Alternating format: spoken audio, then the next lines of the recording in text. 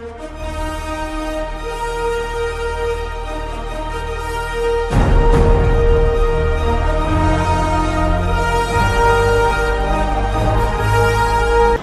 রহমান রহিম আসসালামু আলাইকুম প্রিয় শিক্ষার্থী, কেমন আছো তোমরা? আশা করি আল্লাহ অশেষ রহমত এবং তার দয়া সুস্থ, সবল এবং নিরাপদে আছো। তোমাদের সবাইকে স্বাগত জানাচ্ছি নবেশন মডেল স্কুলের অনলাইন ক্লাসে আজকের অনলাইন ক্লাসে আমি তোমাদের সাথে আছি মেনন আহমেদ বিজ্ঞান বিষয়ক শিক্ষক। আজকে আমরা তোমাদের অষ্টম শ্রেণির বিজ্ঞান বিষয়ের চতুর্থ অধ্যায়ের তৃতীয় অংশ নিয়ে আলোচনা করব। এই অষ্টম শ্রেণির বিজ্ঞান বিষয়ের চতুর্থ অধ্যায় নিয়ে আমরা এর আগে দুইটা ক্লাস করেছি। আজকে আমরা এই ক্লাসের তৃতীয় অংশ এবং শেষ অংশ নিয়ে আলোচনা করব। আজকে আমাদের ক্লাসের বিষয়বস্তু হচ্ছে নিষিদ্ধকরণ ফলোৎপত্তি এবং অঙ্কুনোৎগমন তাহলে চলো আমরা আমাদের ক্লাস শুরু করি। আমরা প্রথমে আসি নিষিদ্ধকরণ। নিষিদ্ধকরণটা কীভাবে হয়? যেমন, আমি এর আগে তোমাদের যৌন জনন, অযৌন জনন নিয়ে আলোচনা করেছি, একটা ফুলের গঠন নিয়ে আলোচনা করেছি, কীভাবে স্ত্রী ফুল পুঙ্কেশ্বর স্ত্রীকেশ্বরে অবতীর্ণ হয় বা ট্রান্সফার হয়, সেটা নিয়ে আলোচনা করেছি। এখন আমরা আলোচনা করব নিষিক্তকরণটা কি?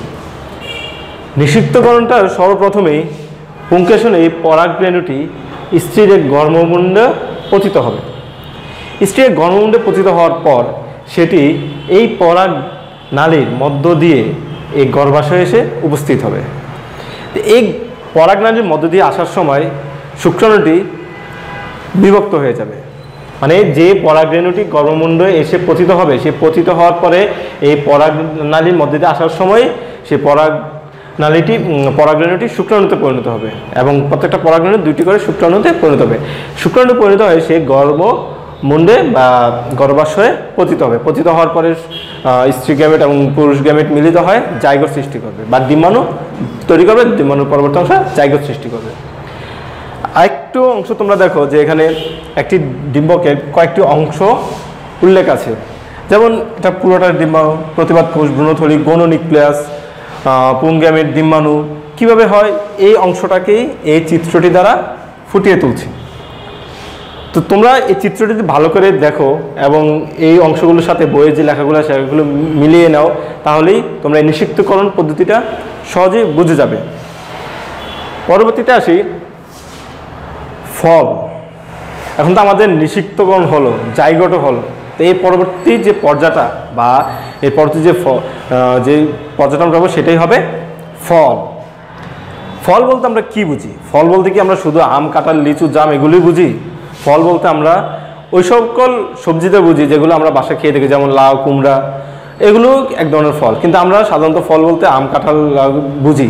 কিন্তু এগুলোর পাশাপাশিও যেমন লাউ, কুমড়া, সিম, এগুলো ফল। তো নিষিদ্ধ হওয়ার পরে জায়গোট থেকে এই ফলের উৎপত্তি ঘটে। ফল দুই প্রকার। কি কি? প্রকৃত ফল, অপ্রকৃত ফল। একটি ফুলে নিষিক্ত হওয়ার পরে যে ফলটি উৎপন্ন হবে, সেটা হবে প্রকৃত ফল। তাহলে অপ্রকৃত ফলটি কি? অপ্রকৃত ফলটা এর বিপরীত। মানে সেটি ফুলের গর্ভাশয়, গর্ভমুণ্ডে বা ফুলের বাইরে নিষিক্ত হয়ে যে ফলটি উৎপন্ন হবে, সেটা হবে অপ্রকৃত ফল। প্রকৃত এবং অপ্রকৃত ফল, এই দুটি মিলেই তিন ফল, তিন প্রকার। দুটি মিলে ফল, তিন প্রকার। কি কি? সরল ফল, গুচ্ছ ফল যৌগিক ফল। উদাহরণসহ যদি আমরা বলতে চাই যে সরল ফলের উদাহরণটি হলো আম, গুচ্ছ ফলের উদাহরণটি হলো আতা এবং যৌগিক ফলের উদাহরণটি হলো কাঁঠাল। চিত্রের সাহায্যে তোমরা তিনটি উদাহরণ দেখতে পাচ্ছ। আরেকটি কথা বলি যে সরল ফলটি আবার দুই ধরনের। একটি হলো রসালো ফল এবং একটি হলো নিরস ফল। রসালো ফল কোনগুলো? রসালো ফল হলো যেমন উদাহরণটা সেম উদাহরণটা দিই আমি আম, আমটি হলো রসালো ফল। আমটি যখন পেকে যাবে তখন সেটি খোসা ফেটে যাবে না এবং এর ভিতরে রস থাকবে। আর নিরাশ ফল কি? নিরাশ ফল হচ্ছে যার ভিতরে রস থাকবে না এবং সেটি পরিপক্ক হওয়ার পরে তার আবরণটি বা খোসাটি ফেটে যাবে। তো রসালো ফলের উদাহরণ হিসেবে আমরা বলতে পারি আম, আর নিরাশ ফলের উদাহরণ হিসেবে বলতে পারি সিম। যেমন সিমটি আমাদের নিরাশ ফলের উদাহরণ। পরবর্তীতে আসি বীজের ঘটন।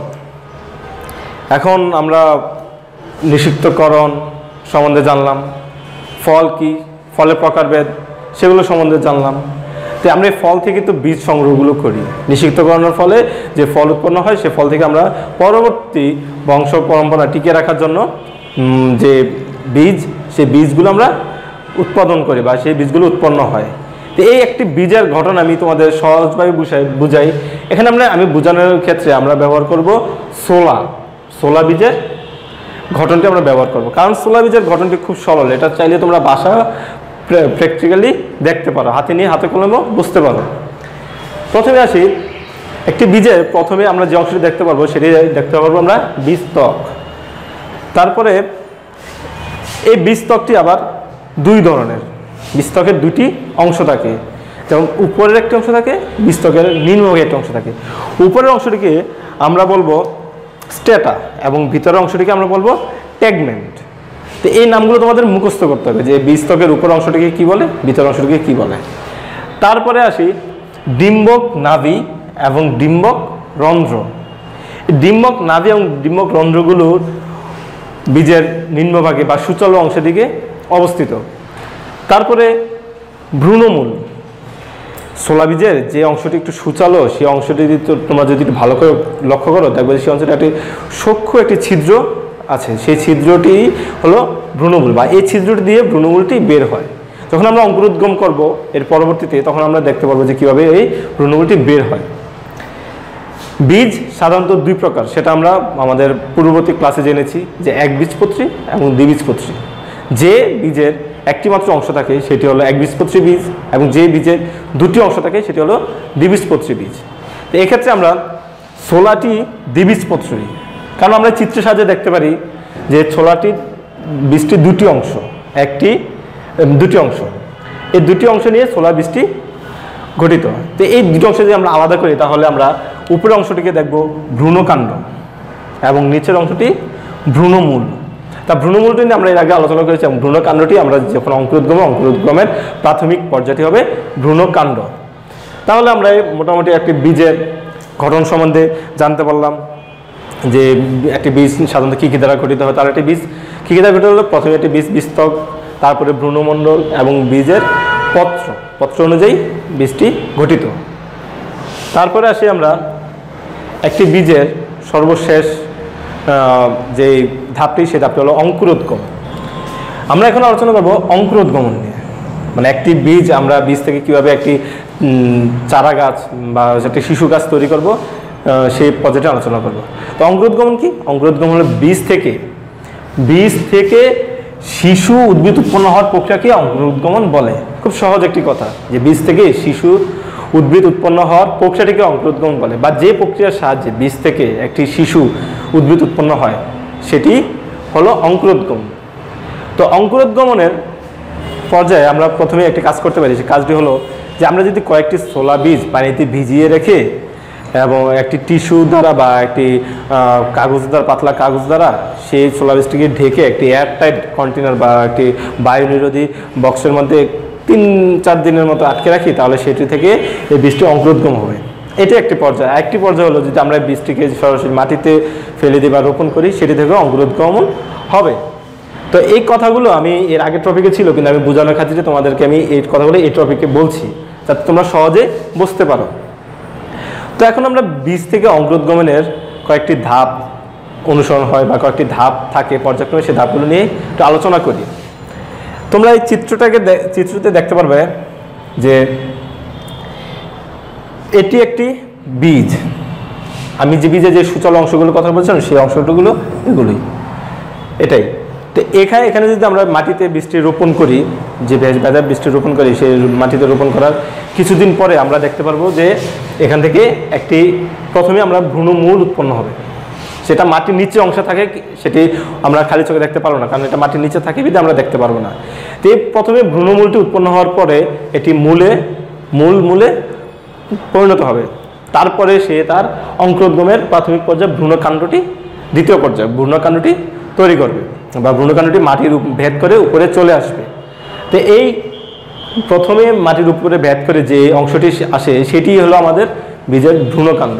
ভ্রূণকাণ্ড থেকে এটি ধীরে ধীরে বৃদ্ধি প্রাপ্ত হবে। এখানে দেখা যাচ্ছে কয়েকটি ছোট ছোট কুড়ি বেরোচ্ছে, কুড়ি বের হচ্ছে এই কুড়ি থেকে পাতা বের, পাতা হবে এবং এই কাণ্ডের থেকেই আমাদের নতুন শাখা প্রশাখাগুলো বের হবে। তো এইগুলো একটি বীজের ভ্রূণোদ্গমন এখানে আরেকটি কথা তোমাদের বলে রাখি, যে এখানে দেখো মৃদগত অঙ্কুরোদ্গমন এবং মৃদভেদী অঙ্কুরোদ্গমন। দুটি কথা লেখা আছে। এই কথাগুলো বোঝা কথাটি আমি বোঝানোর জন্য আমি এখানে আলোচনা করছি। কারণ মৃদগমন অঙ্কুরোদ্গমন হলো যে বীজের বীজপত্রগুলো পরিস্ফুটিত বা অঙ্কুরোদ্গমন হওয়ার পরে মাটির নিচে থেকে যায়, তাকে বলা হয়, তাদের বলা হয় মৃদগত অঙ্কুরোদ্গমন। এবং মৃদভেদে অঙ্কুরোদ্গমন কাকে বলে? এর বিপরীতটি।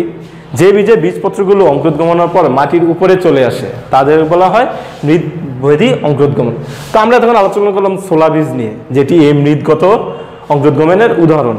তো এখন আমরা যদি এই মৃদভেদী অঙ্কুরোদ্গমনের উদাহরণ, একটি উদাহরণ চিন্তা করি, তাহলে সেই উদাহরণটি হলো যেমন লাউ বা কুমড়া। এই লাউ কুমড়া বীজগুলো যখন অঙ্কুরোদ্গম হবে, সেই বীজপত্রটি মাটির উপরে চলে আসবে।